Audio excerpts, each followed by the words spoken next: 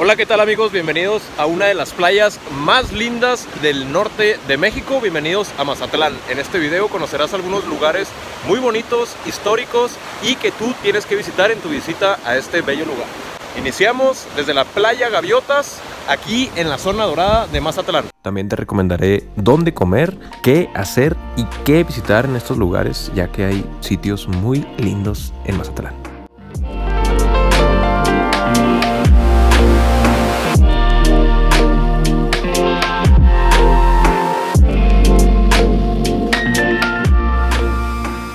Este día voy a ir a conocer la catedral, la plaza que está enfrente, Plaza Machado. Y para esto decidí venirme en una pulmonía, que es pues prácticamente el transporte típico de Mazatlán. Y también pues me traje a mi parejita, a esta poderosa que aún no le pongo nombre. Si tienes algún pues nombre que no sé, que, que te gustaría, puedes dejarlo en los comentarios. Y voy a ir a recorrer primeramente hacia la catedral y a desayunar algo. Ahorita son las 11 de la mañana. Voy a buscar algo para almorzar que traigo bastantísima, bastantísima hambre, algo de marisquito o algo rico. Y pues nos seguimos viendo.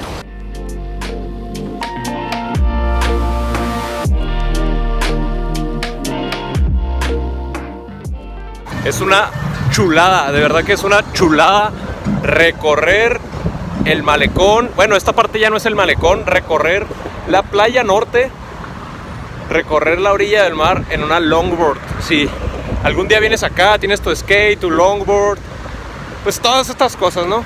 Tu bicicleta, o lo que tú quieras, ¿no? Si tienes algo para recorrerlo, tienes que hacerlo, ya que es algo tradicional completamente si vienes a este lugar. Amigos viajeros, y antes de mostrarles la catedral que estoy viendo frente a mis ojos, quiero platicarles cuánto me costó llegar hasta aquí. Yo pedí la pulmonía desde la zona dorada de Mazatlán y recorrimos prácticamente todo el malecón, que si no mal recuerdo tiene 9 kilómetros. Es uno de los más grandes del mundo, si no es que el más grande del mundo.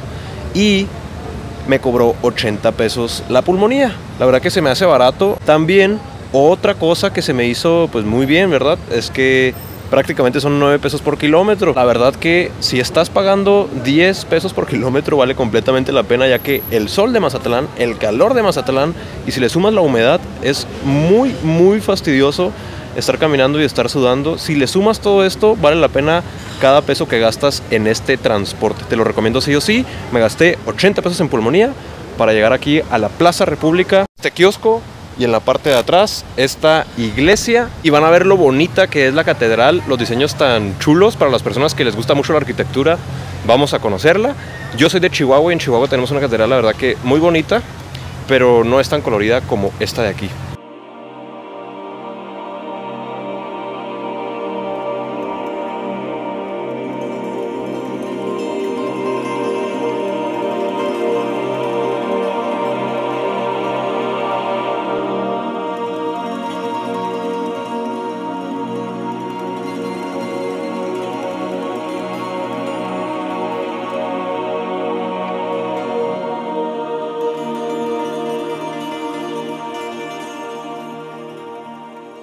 Amigos, y esta catedral que están viendo ustedes aquí al fondo se hizo desde 1856 y se terminó en 1899. Tardaron un poco más de 30 años en terminarla y tiene un estilo neogótico. ¿Qué es neogótico? Obviamente me di la tarea de investigarlo.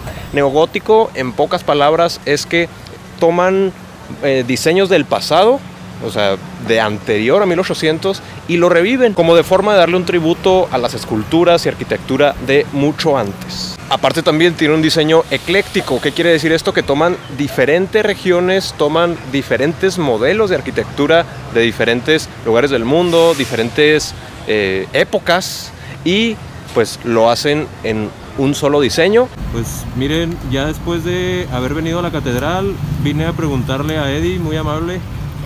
Y Eddie me hizo el paro de, de decirme el lugar. Y pues miren, Eddie tiene su puesto enseguida, enseguida literal de la catedral. Si quieren comprar pues algo, ya saben, algún recuerdito. Amigos, y les quiero dar dos tips viajeros. Uno, deja la vergüenza, deja la vergüenza porque con ella no vas a llegar a ningún lado. Y la dos, platica con todos, pregúntales dónde comen, qué te recomiendan. Siempre que vayas a un lugar, haz esto. Siempre, siempre, siempre es mejor preguntarle a alguien que sea del el lugar. Siempre es mejor eso a llegar tú a algún lugar famoso que pues por algo es famoso, por algo es rico, pero nada como comer pues lo que comen las personas del lugar, ¿eh? Y pues sí, di con el lugar El Tigre. Pedí unas tostadas combinadas, creo que es ensalada de camarón. Esto es ensalada de camarón, ceviche y estos dos no recuerdo. Y pues pedí una limonada. Ya es mediodía y hace bastante, bastante hambre.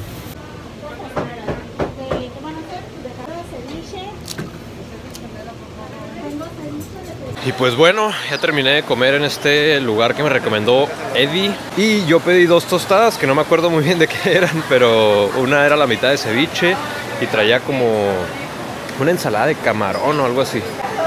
Y pedí un agua de litro, una limonada. Con todo esto me gasté 70 pesos en las dos tostadas y el agua de limón. Que la verdad pueden comer donde sea, yo casi creo que está rico, pero yo en lo personal pues les puedo recomendar porque llegué ahí el Tigre. Les puedo recomendar bastante. Pregunten por este mercadito, muy muy recomendado y por este restaurancito también. Amigos viajeros, y ya después de haber comido como ustedes pudieron ver, decidí venir a la Plaza Machado de día solamente para tirarme un rato, recostarme, reposar la comida, estar a gusto y luego ya seguiremos recorriendo la ciudad bonita. Nos encontramos ya en la Plaza Machado, uno de los lugares más antiguos y más icónicos de Mazatlán. Este lugar, pues que ustedes están viendo en las imágenes, tan bonito, tan colorido, tiene un toque colonial francés y combinado con español. En época de carnaval también todo esto que ustedes pueden ver alrededor se llena bastantísimo de gente. Este lugar lo hizo Juan Napomuceno Machado, de ahí el nombre de Plaza Machado, y este personaje fue un rico magnate que él pues se dedicaba a la venta de plata, a la venta de telas y todo ese tipo de cosas, era un comerciante. Igual creo que voy a venir de noche en estos días y si vengo de noche, dejar aquí unas imágenes.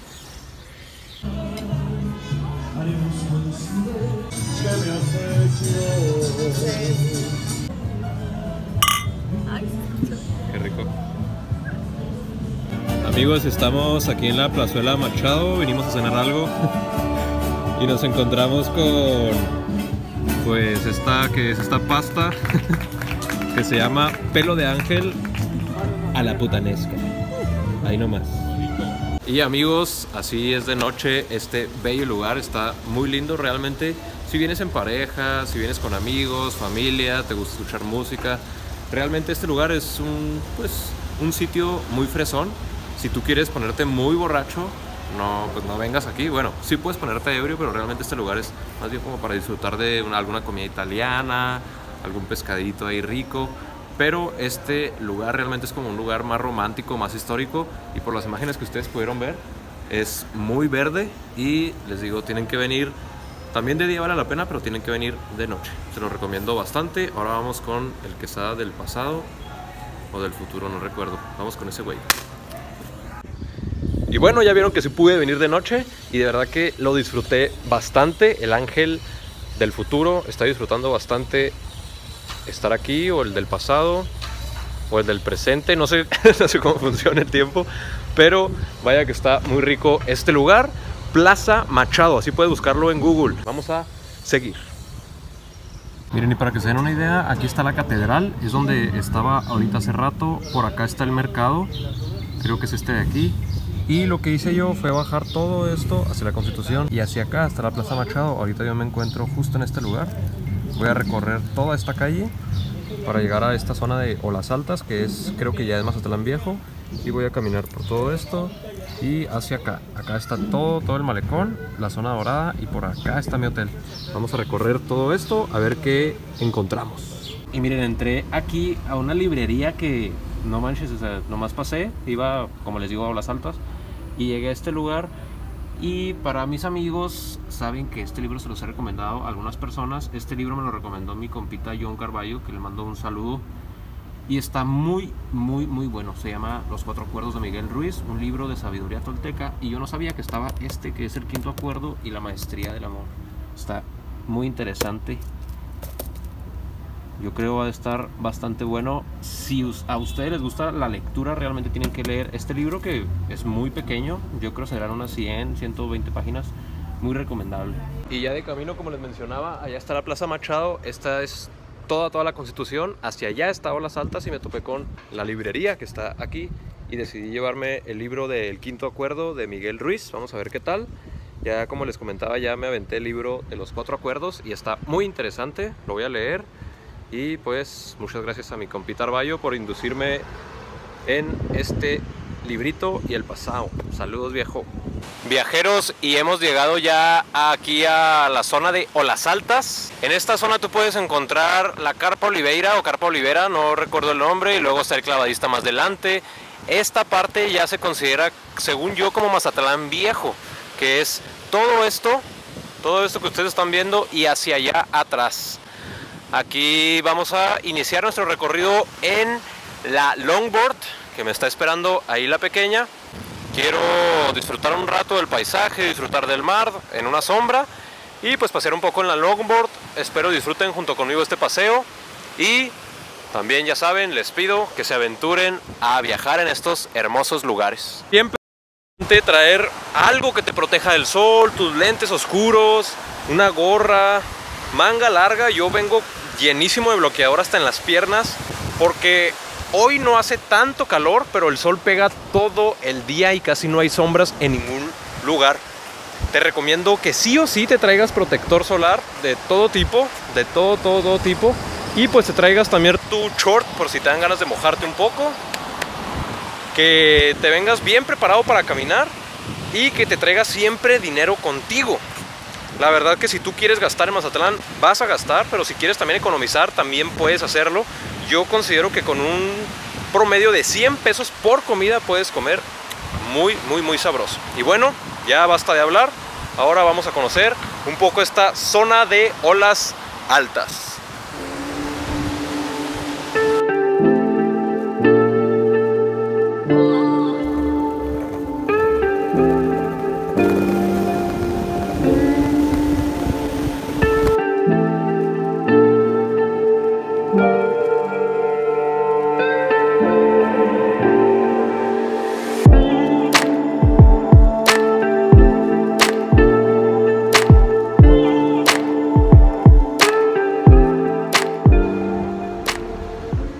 Ustedes aquí en la zona de Olas Altas, literal frente a la playa, está este lugar conocido como la Cueva del Diablo. Hay varias historias de, pues, de estos lugares. Había varias minas. Me parece que esta era una mina y se dice que a las personas que trabajaban aquí se les aparecía algo, ¿verdad? Este, son historias que, pues, que realmente son mitos y está interesante, pues al menos la puerta, ¿no? Yo la verdad en ese tipo de cosas no, no creo mucho, pero pues está está curioso este tipo de historias y aparte como que te llama la atención, ¿no? Vas pasando, caminando tú casual y luego ves que hay un lugar que se llama la Cueva del Diablo, es como que pues al menos tienes que venir a tocar al diablo, ¿no? Y pues este es un aviso para mi mamá, esta callecita por la que voy que ustedes pueden ver de color verde es para las bicicletas o para ese tipo de vehículos, ¿no? Así como pues como el mío. Así que no hay peligro, ya me andaba cayendo pero realmente es tu, es tu calle, ¿verdad? Yo voy por mi carril y si me chocan, me pagan perros. Amigos, buenas noches tengan todos ustedes. Espero estén disfrutando de este video.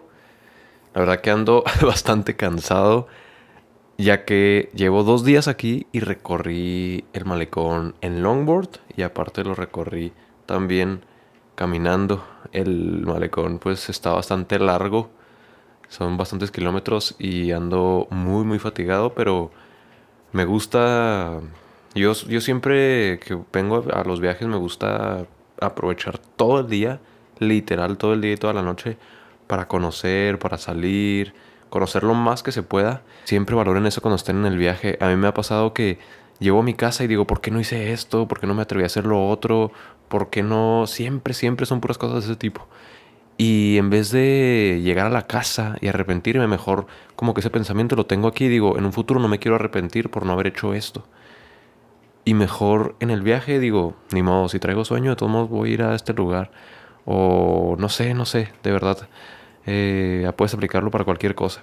Siempre que viajes, siempre, siempre que viajes, pásatela chingón, conoce gente, que no te dé vergüenza absolutamente nada. Y pues ya nos vamos al siguiente día. Nos vemos mañana.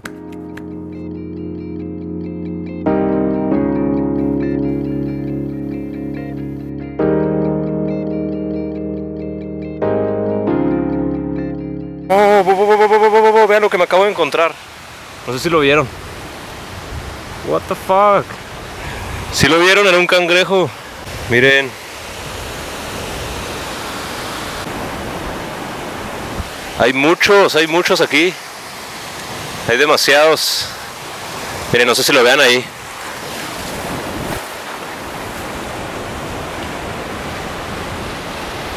Aquí es donde te puedes meter, donde realmente vale un poquito más la pena, porque pues la playa está más tranquila, te rentan sombrillas y todo esto.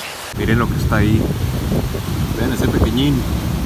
Ahorita que venía caminando, me asusté con él porque de repente se movió algo. Y es una iguana. Aquí en Mazatlán hay muchas iguanas. Y está admirando el mar. está viendo el mar el pequeñín. Eh... ¡Ey, Rogelio! ¡Rogelio! Sí, tú. Tú. Cáele, Rogelio. Acá tengo una cheve para ti. Esto es para ti, viejo. Ándele, mi Roger, no se haga rogar. No manches, qué a gusto está esa iguana, véanla, en serio, miren. Me dan ganas de pasarle una cheve. ¿Quieres una cheve, Rogelio? Véanla nomás con la pancita para abajo. ¿No quieres una morra, güey? ¡Eh, Rogelio! Bueno, ya no la va a molestar, pues. Vean qué gusto está Rogelio. Si no disfrutas el mar como Rogelio, ni vengas a la playa mejor.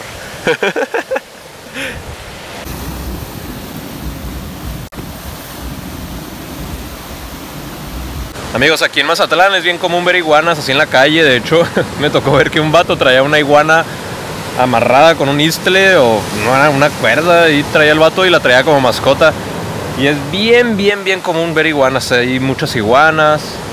Eh, vi unos videos que también hay tiburones muy adentro.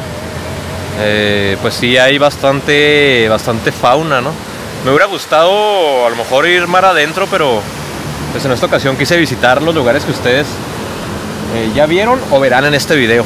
Así que, pues más bien ahora me enfoqué en, en otras cosas, pues dentro de la ciudad, ¿no? Dentro de Mazatlán Viejo y el centro y todas estas cosas, pues históricas que tiene Mazatlán también.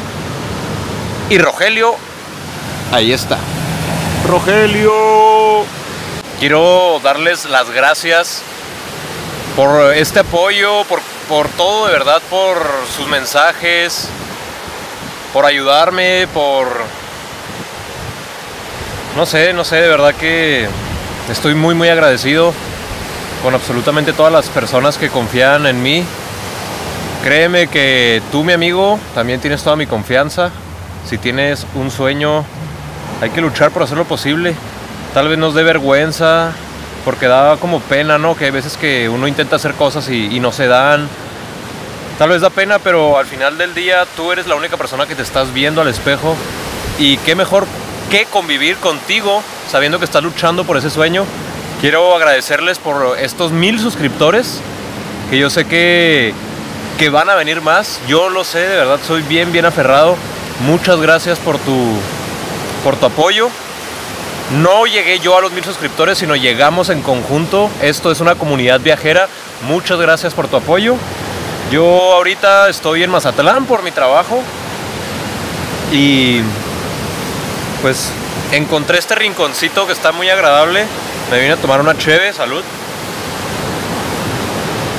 Un dato muy curioso para la gente que le gusta la historia de narco, narcotour y todo este rollo, es que el hotel que tengo frente a mí se los voy a mostrar. Justo ese hotel que tienen ustedes ahí enfrente del Miramar, no, no es por hacerle publicidad de nada, pero ese hotel fue donde agarraron al Chapo Guzmán la primera vez que, pues sí que lo agarraron, justo en este Hotel Miramar. Está justo en el malecón, justo a un lado.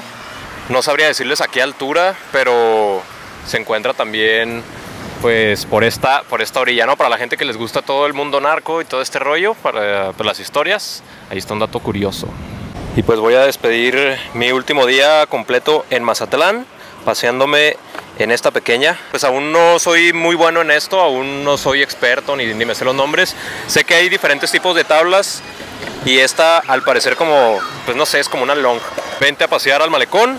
Es una muy buena idea ya que te puedes pasear por ese carril y tienes 9 kilómetros a tu disposición y pues de un camino realmente muy derecho. Recomendado completamente.